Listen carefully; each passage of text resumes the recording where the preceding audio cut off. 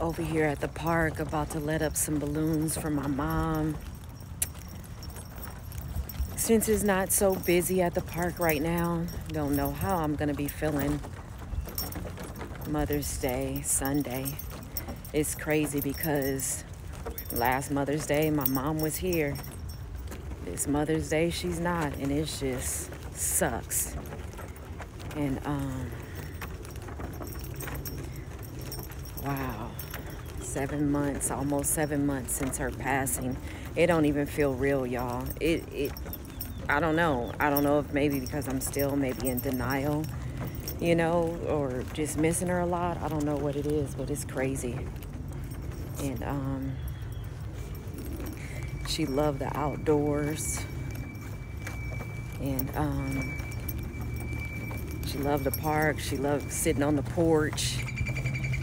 So just thinking of her right now. Me and Jackie, that's my mom's dog, y'all. we be helping each other. She was so sad when my mom passed away. She was just moping around looking so sad and now she's I think she's starting to feel a little better and we be helping each other and loving on each other. So, come on, Jackie. My mom named her dog after her. My mom's name is Jackie. That's so funny. Happy Mother's Day to all the moms around the world. And if you lost your mom, big hug to you because it's a lot. It's a lot. I love my mom. I miss my mom. She was the strongest woman that I have ever met in my life.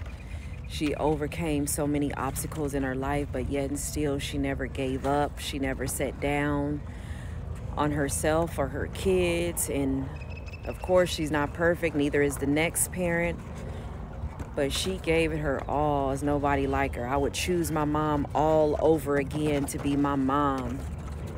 God knew what he was doing when he assigned her to be my mom. He knew that I needed somebody like that in my life and to show me what perseverance and determination and not giving up on yourself looked like through all the challenging times. And I'm so thankful that I had my mom as my mom. I can go on and on. I love her. I miss her so much. And it's not a day that goes by that I don't think about my mom. Happy Mother's Day, Mommy.